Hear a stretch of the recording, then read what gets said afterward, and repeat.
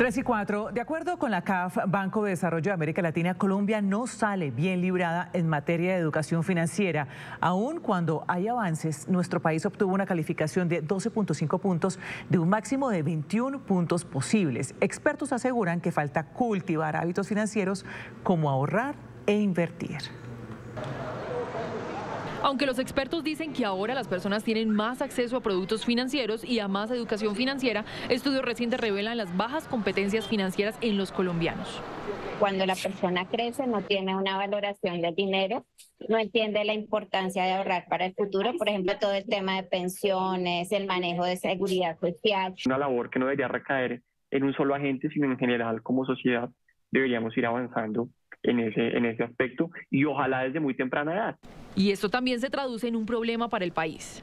Entendemos endeudarnos más, lo que hace también que el país se endeude más por esa, esa falta de la, de la cultura y que nos volvamos un país que está buscando subsidiar todo. Los ciudadanos aseguran que es un tema al que no se le da prioridad y por eso las diferentes consecuencias. Yo que tengo un crédito en el ICETEX, si conociéramos en realidad lo de las tasas de interés y todo ese tipo de asuntos, no nos veríamos ahorita el cuello. El endeudamiento en la gente, el, sí, el sobreendeudamiento en la gente. Endeudarte muchísimo desde temprana edad, eh, irte a tomar los fines de semana, no tener un presupuesto.